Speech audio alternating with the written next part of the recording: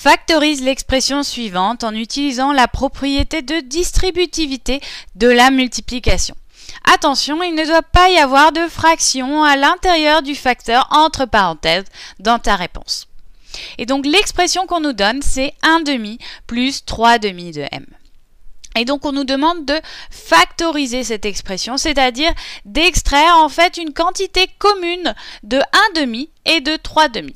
Et donc quand je te dis 1 demi plus 3 demi, eh bien tu peux entendre qu'il y a 1 demi dans chacune de ces expressions. Donc on va essayer de factoriser par 1 demi.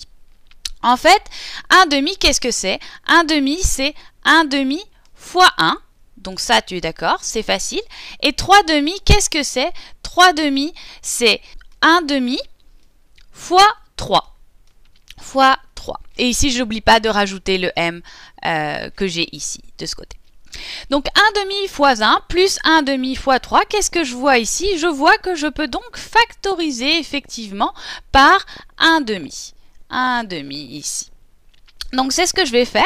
Donc je mets 1 demi et j'ouvre une parenthèse juste après. Et dans la parenthèse, eh bien, je vais mettre ce qu'il me reste, c'est-à-dire je vais mettre 1 plus, de l'autre côté, 3m. 3m. Et je vais refermer ma parenthèse. Donc ici, eh bien, 1 demi plus 3 demi de s est égal à 1 demi facteur de 1 plus 3m.